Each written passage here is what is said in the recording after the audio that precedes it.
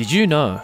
Durarara was almost called Dulalala. For many English translators, it was unclear as to whether it should be rendered as Durarara or Dulalala due to the inherent difficulties associated with L's and R's in the romanization of Japanese. And on top of that, there's the fact that Japanese culture is known for its love of wordplay and puns. In favor of Durarara, some thought it was some kind of Japanese onomatopoeia, while others pointed to the character Celty in support of the show's title being a take on the word Dullahan, thus Dulalala. Though clues like the URL of the official website, durarara.com, eventually made the intended title clear, English readers and viewers shouldn't feel bad. People in Japan really didn't understand the title either. In the afterword of the first light novel, the source material of the anime, author Ryogo Narita took the opportunity to explain the mystery surrounding the title to his readers. It's an extremely strange title, I admit, but if you read the book, you'll understand. Perhaps. As I was finishing up writing and revising the manuscript, my editor said, It's about time for us to submit an official title to marketing. And the first thing I came up with was. D- Durara? My editor said, Actually, I like how mysterious that is. Let's go with that. But how do you want to handle the English spelling? I had no answer because I didn't expect him to accept it. Then he asked, Will you throw in an exclamation mark like Baccano or Bow Wow have? I still had no answer because I still didn't expect him to accept it. So I said without thinking, Let's put two on there. Bam bam! After a long silence, I heard the scratching of someone writing on paper. Then my editor exploded with laughter on the other side of the phone. When you write this out, it looks so stupid. Let's go with that then. That was the birth of Durarara. But as for what it means, I'm still not quite sure.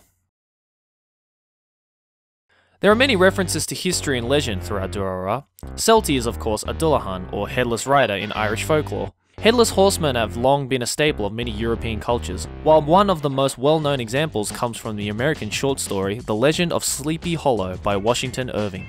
The rivalry between the Yellow Scarves and the Blue Squares mirrors the ancient Chinese account of the Yellow Scarves Rebellion, also known as the Yellow Turban Rebellion. Taking place during the reign of Emperor Ling, the historical account tells of a peasant uprising wherein the rebels wore yellow scarves around their heads and fought against the ruling Han dynasty. The slogan of the rebellion was, The blue sky has perished, the yellow sky will rise, with the blue sky being the Han dynasty. The blade wielded by Anri Sonohara, Saika, shares the reputation of possessing an unnatural thirst for blood with that of the infamous Muramasa blades. Bearing the name of the great Japanese swordsmith who forged them, superstition claims that once a Muramasa blade is drawn from its scabbard, it must draw blood, compelling its wielder to either kill others or commit suicide. Durarara references not just the real world, but other anime as well. In the very first episode, Mikado runs into a cardboard cutout of Holo from Spice and Wolf. In episode 3, a copy of Yozakura Quartet can be seen being held by Walker Yumasaki. And in episode 15, Walker makes a reference to Kiyohiko Azuma's Yotsubato by stating that he would like to have a green haired daughter.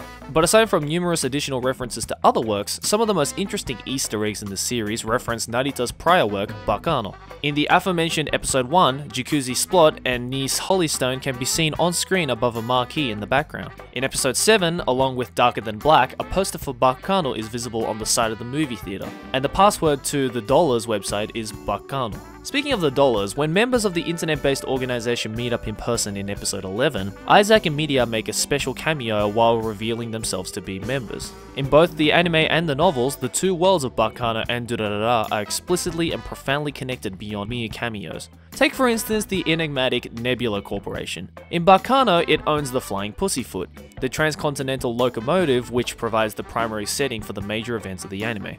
By the 21st century, the American pharmaceutical company had grown and expanded to Japan, where, like in Baccano, it attempts to use its power and influence to study the supernatural and, perhaps, obtain the long sought after secret to immortality.